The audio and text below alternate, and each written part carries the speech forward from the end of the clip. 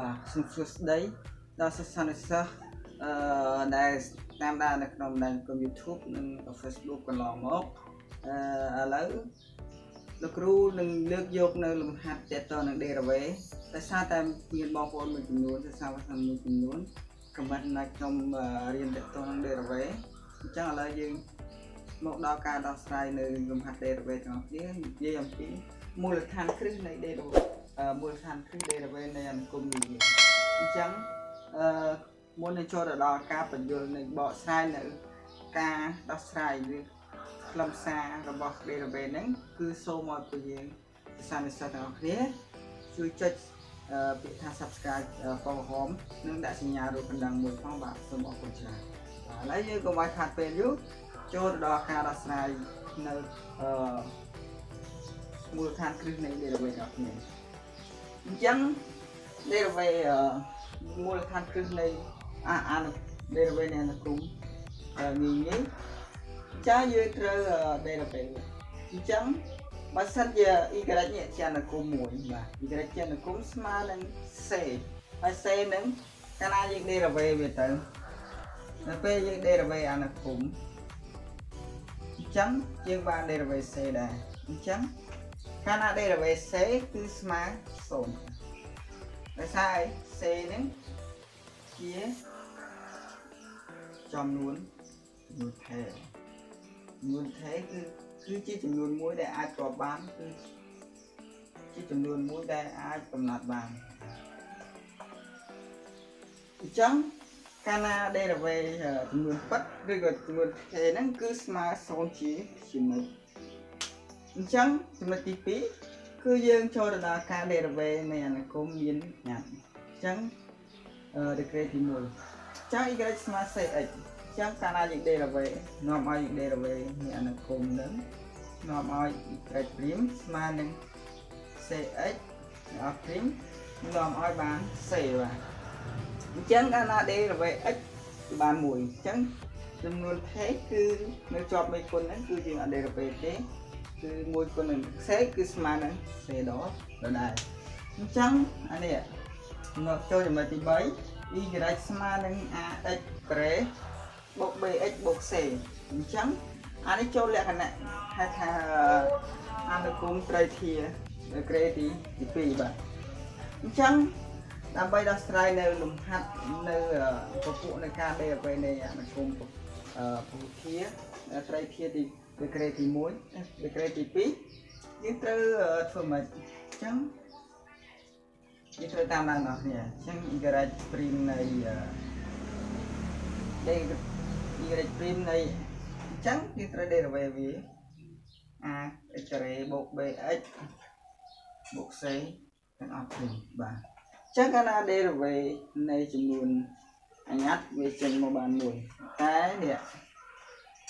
database អឺចំនួនមេគុណគឺយក database ទេគឺទុកនៅដដែលនេះគឺយើងទុកនៅដដែលអញ្ចឹងយើងឃើញថា database x ការ៉េគឺស្មើបាន database x ការ៉េអានេះយើងទុកនៅដោយវា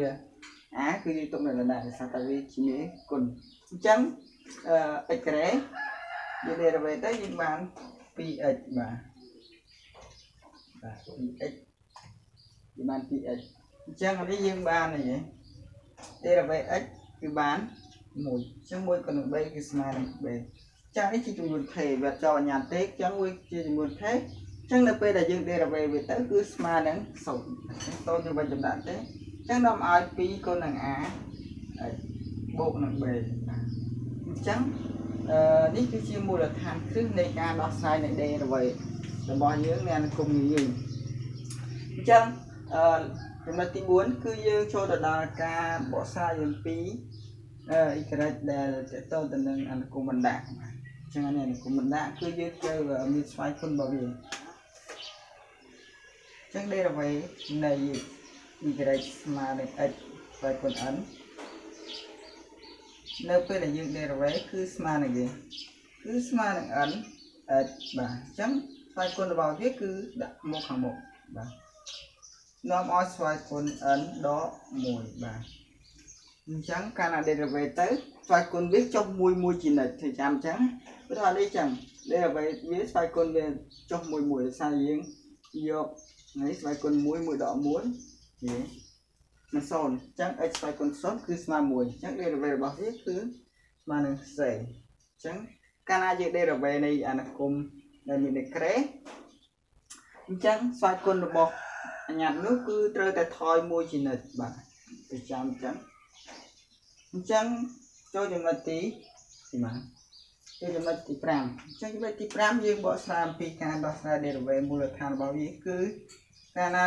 derivative នៃអនុគមប្រភេទសនិទាននេះគឺយើងធ្វើ derivative វាមួយលើ x អញ្ចឹង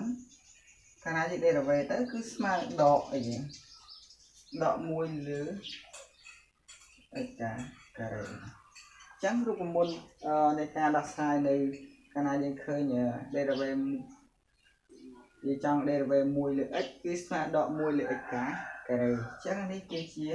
ចម្លើយបាទចម្លើយរបស់វាអញ្ចឹងយើងត្រូវចាំថាកាលណាយើង derivative 1លើ x គឺស្មើដក1លើ x ការ៉េ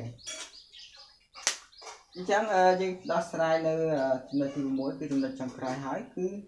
ដើម្បី កាលណាជួបនៅអានុគមប្រភេទអសនិទានបែបនេះគឺយើងត្រូវតែមិនអញ្ចឹងដាក់មកផ្សំឲ្យវិរិយព្រីមស្មើនឹងរឹសនៃ x អញ្ចឹងលោកគ្រូសូមបញ្យល់លើក្នុងតិចដើម្បីឲ្យចូលរួមមុននេះអញ្ចឹងទីនេះវាមានរ៉ាត់ស្វ័យគុណបាន x ស្វ័យគុណ1នេះគឺទីបានឬទី2បាទ ចឹងកាលណាឬទី2វាស្មើនឹងនៅពេលសេជាស្វ័យគុណវាទៅគឺស្មើនឹង x 1ភាគ2បាទអញ្ចឹងយើងត្រូវ derivative វា derivative វាទៅ derivative ទៅវាទៅគឺស្មើនឹងនេះកាលណាវានេះវាស្វ័យគុណវាដកដក1ចំណុចអញ្ចឹង1ដក1លើ2ដក1អញ្ចឹងអញ្ចឹងវាចូលរូបមន្តនេះមែនទេចូលរូបមន្ត x ស្វ័យគុណ n ស្មើនឹង n n របស់យើងគឺ1លើ 2 x នៅដល់ដដែលអញ្ចឹង n ស្វ័យគុណដក1អឺ x ស្វ័យគុណ n ដក1បាទ n របស់យើងគឺ1ភាគ2ដក1អញ្ចឹងកាលណាយើងជំរើសបាយទៅវានេះទៅជាដកមែនយ៉ាងទៅជាដកដកបាននេះ2នៅបាយពីដូចគ្នា2 1សល់ដក